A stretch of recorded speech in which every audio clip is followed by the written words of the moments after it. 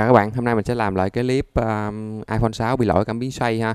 Thì ở cái clip này mình sẽ thêm cái phần hướng dẫn các bạn để các bạn hiểu rõ hơn về một cái cách sửa một cái iPhone nó bị một cái lỗi bất kỳ.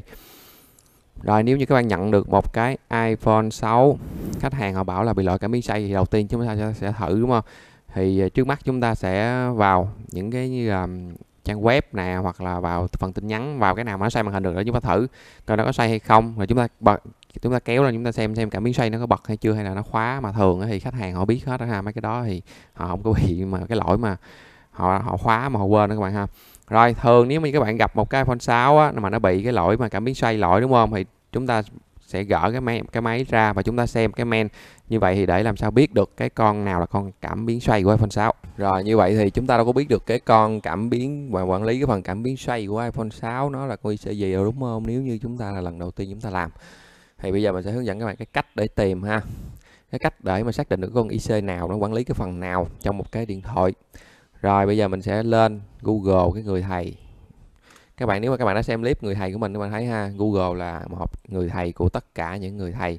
Các bạn sẽ search với từ khóa là cảm biến xây tiếng Anh là gì đầu tiên, đúng không?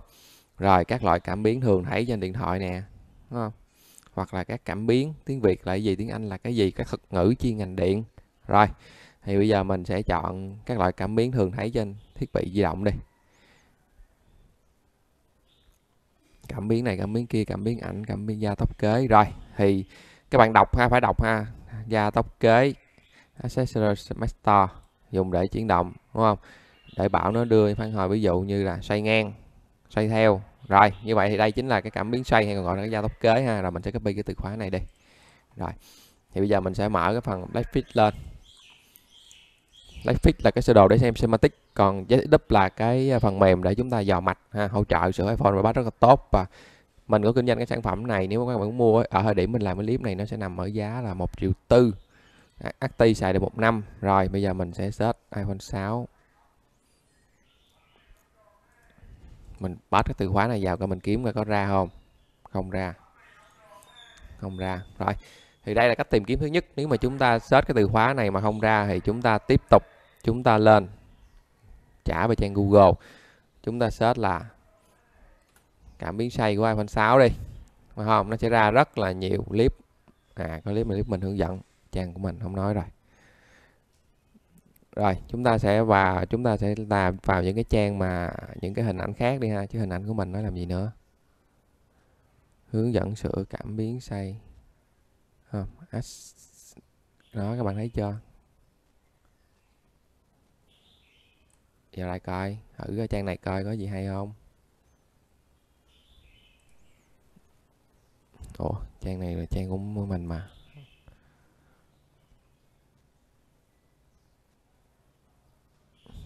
Những cái như bệnh viện, điện thoại rồi nó hướng dẫn các bạn, nó không có hướng dẫn gì đâu, nó chỉ kêu là tại đây chúng tôi sửa được, mang đến cho chúng tôi sửa thôi.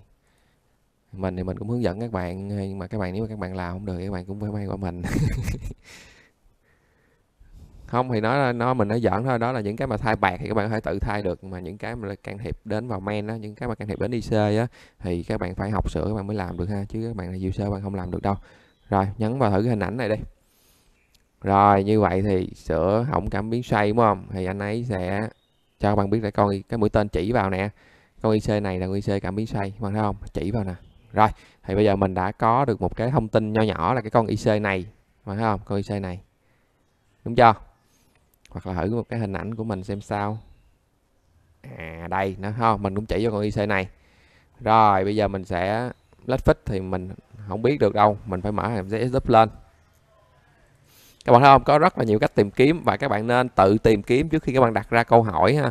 Nếu mà các bạn chưa tìm kiếm mà đặt ra câu hỏi thì ai đâu mà trả lời cho các bạn suốt, đúng không? Người ta cũng phải làm chứ, ai cũng phải làm mới có cơm ăn, đúng không các bạn? Chứ mà ngồi không thì nhăn răng mà đói à.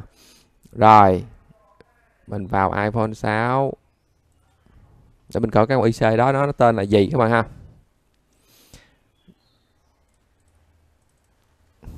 Rồi phải con này không? Đúng rồi nó tên là U2205 mình lại là lách mình search từ khóa là U2205 rồi search vẫn không ra. Thì có nghĩa là cái schematic của iPhone 6 á, nó không có vẽ hình cái con này. Các bạn thấy chưa?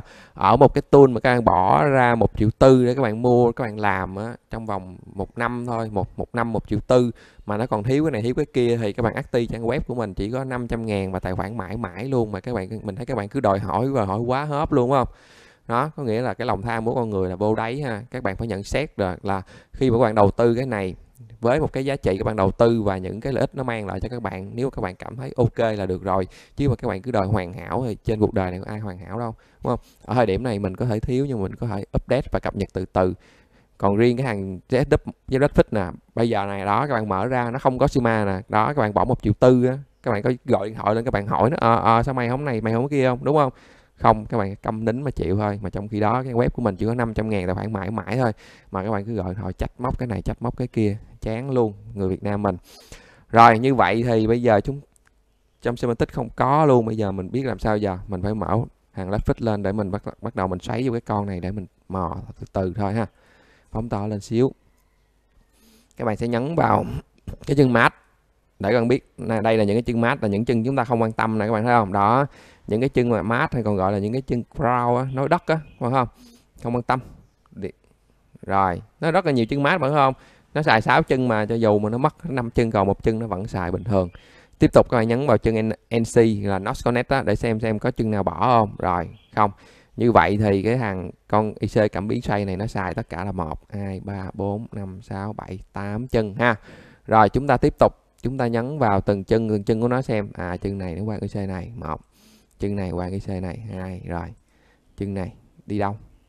Ồ đi qua con trở này. Rồi tiếp tục chân này đi đâu? À đi vô cái con quản lý cảm biến tổng này phải không? Đỏ đỏ nè phải không? Chân này ra con chợ này. Chân này ra con chợ này. Chân này. Wow chân này là chân 1,8V cấp nguồn 1,8V các bạn ha các bạn lưu ý nha. Cấp nguồn 1,8V là chân này là chân cấp nguồn cho nó nè 1,8V chân này. À chân này là chân 3V rồi, bây giờ chúng ta sẽ vẽ con này ra giấy sơ sơ dựa theo cái hàng ZW này để chúng ta vẽ cái sơ đồ của nó, các bạn không? Đây nè, cái đường đi của nó nè, các bạn dựa vào đây các bạn sẽ vẽ được cái sơ đồ thôi. Rồi, bây giờ mình sẽ vẽ sơ ra giấy ha. Rồi, thì tổng quát là con IC nó, cái con IC nó hình vuông đúng không?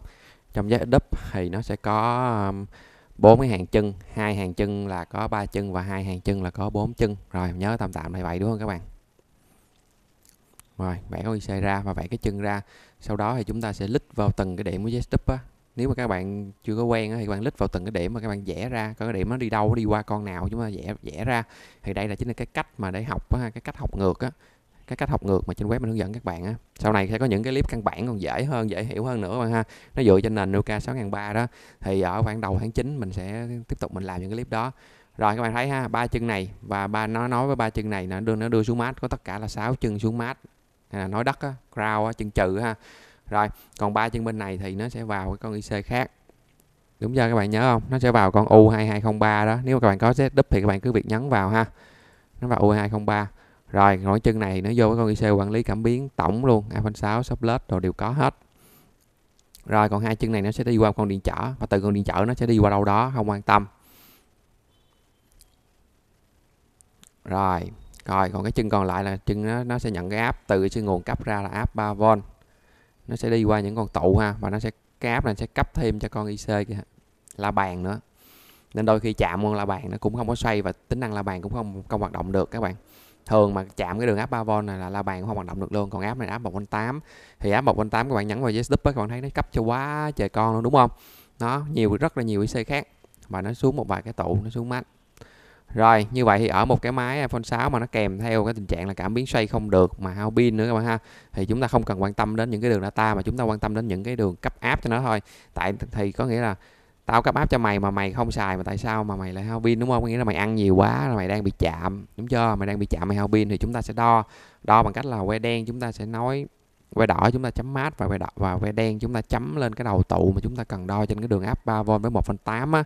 Để xem xem nó có chạm đường nào nếu mà chạm đường áp 3V á, phải không? Quay đỏ chấm mát quay đen chấm đầu tụ các bạn đừng thắc mắc tại sao là lúc mà quay đen chấm mát quay đỏ chấm quay đỏ chấm điểm cần đo. Lúc thì quay quay đỏ chấm mát quay đen điểm cần đo ha. Sau này các bạn xem những clip căn bản của mình, các bạn sẽ hiểu rõ nhiều hơn. Rồi, nếu mà chúng ta thấy, nếu mà đường 3V mà nó chạm thì chúng ta sẽ cách ly dần những con tụ trên cái đường đó cho đến khi đến khi nó hết chạm thì thôi. Còn thường đường 1.8 nó thôi nó ít chạm lắm, tại vì nó cấp cho quá nhiều IC mà. Nếu mà nó mà chạm thì rất là nhiều tính năng không hoạt động được, chứ không riêng những cái biến xay ha. Nên thường nó sẽ không chạm đâu.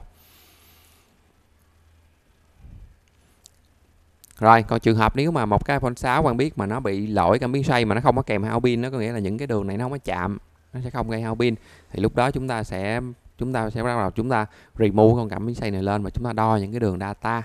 Đo những đường data của nó xem xem có bị đứt đường nào hay không, có những cái nếu mà không đứt đường nào thì các bạn có việc thay thế con cảm biến xoay thôi. Thường thì mình thấy là con cảm biến xoay ít lỗi ha. Đa số là nếu mà một cái máy mà không chạm, không hao pin gì hết thì thường là do con la bàn do con con IC la bàn, con combat đó nó nó bị lỗi nên nó làm nó làm cảm biến xoay xoay không được luôn. Thì chỉ cách ly bỏ la bàn là ok, hoặc là thay thế con khác. Nếu như các bạn làm nghề thầy bói cần cái la bàn, đúng không? Rồi, còn trường hợp các bạn đo đứt đường, đúng không? Thì chỉ việc ấy thôi. Rồi, thì ở cái clip thực tế này bạn sẽ thấy ha, một cái iPhone 6 nó hao pin, chúng ta cấp dòng vào, chúng ta nhấn nhẹ nút nguồn không? Dòng DFU rất là đẹp, xong đó nó giật lên. Nó giật lên 300 ampere luôn các bạn thấy chưa? Thì lúc này thì chúng ta sẽ xác định được có chúng ta sẽ đo mẫu chúng ta thấy được cái đường áp 3V nó chạm, thì chúng ta sẽ cách ly dần những cái con tụ. Thì tại sao các bạn thấy là mình đầu tiên do là mình đè cái con tụ này ra mình lòng đầu tiên? Tại vì cái, theo cái kinh nghiệm mình làm việc thì cái con tụ này nó chạm nhiều nhất. Chạm nhiều nhất thôi chứ không phải là lúc nào cũng chạm nó nha. Đôi khi bạn thấy con tụ này không có chạm đâu, nó chạm những con tụ nằm kế xây nguồn á giờ nó chạm cái con tụ mà nằm kế cái con cảm biến xoay á, thì mình có ép hết, mình có ép ghi chú hết trên trong cái pic, trên web iScanFit.solution á thì các bạn ờ, thường các bạn xem cái clip này thì các bạn đã có cái account trên web solution rồi, đúng không? Các bạn cứ lên đó các bạn xem. Rồi khoảng 80 phần trăm các bạn bỏ cái tủ trên này ra là đon thôi ha. Thì các bạn sẽ sử dụng cái cái cây hàng để các bạn bỏ tụ ra để cho nó tránh ờ, nó tránh ờ, cái cái nhiệt độ nó làm cho cái con la bàn nó lỗi mất công, chúng ta làm cái miếng xay xong chúng ta sửa la bàn nữa thì nó cực cho chúng ta, đúng không? Thì những cái skill mà hướng dẫn để sử dụng cái mỏ hàng thành thạo, những skill mà hướng dẫn để mà thay thế IC đồ nó có đầy đủ hết trong cái mục basic và HQ của web icanfit.solution á. Icfit.solution các bạn ha. ICF là viết tắt của chữ icanfit đó đúng không? icanfit là icfit nó vậy thôi, đơn giản vậy thôi, các bạn thấy chưa? Rồi, sau khi làm thì vệ sinh sạch sẽ, đo lại nó nó mà hết chạm thì chúng ta sẽ thử, chúng ta kẹp nguồn lại một cái, các bạn sẽ thấy cái dòng depo rất là đẹp, không còn lên chạm nữa. Rồi thực ra đây là một cái ban thường gặp thôi chứ không phải lúc nào cũng vậy đâu nha. Nên các bạn đừng có nghĩ là à, vào cứ vậy là xong không có đâu. Nó nhiều nhiều lý do nó phát sinh lắm. Và trong cái bit solution mình có nốt đầy đủ hết các bạn lên các bạn cứ sale và các bạn làm từ từ là ok hết thôi. Rồi thì sau khi mà các bạn cách ly ra nó nó sẽ hết chạm và cái cảm biến xoay nó hoạt động ok cái máy chúng ta sẽ hết hao pin thôi. Thì thường ở cái máy hao pin thì các bạn sẽ phải thử full chức năng. Đây là cũng là một cái cách để xác định máy hao pin. Các bạn thử full chức năng thì cái chức năng nào mà nó mất á, thường là cái chức năng đó nó sẽ gây ra lỗi hao pin đúng không? Chức năng nào nó không hoạt động mày ăn nhiều mà mày không hoạt động hả mày đúng không? Mày hư quá mày làm hao pin. Rồi đơn giản vậy thôi. Rồi còn ở những cái máy như các bạn thấy nó không có hao pin không có gì hết đẹp đẽ sạch sẽ. Sau khi các bạn cách ly là bàn vẫn không được thì bắt buộc chúng ta sẽ phải làm đến con IC cảm biến xoay này thôi đúng không? Chúng ta sẽ dỡ IC cảm biến xoay ra và chúng ta sẽ đo đạt đo đạt từng chân từng chân, nếu mà không có đứt chân nào hết, ok, chúng ta thay thế con khác thôi. Thì con IC này xài chung 5m cũng xài chung nè 6 shop led đều xài chung hết, các bạn có thay qua thay lại bình thường ha. Rồi, như vậy thì mình sẽ tạm dừng cái video này đây. Cảm ơn các bạn theo dõi cái video này. Chào các bạn, chúc các bạn thành công.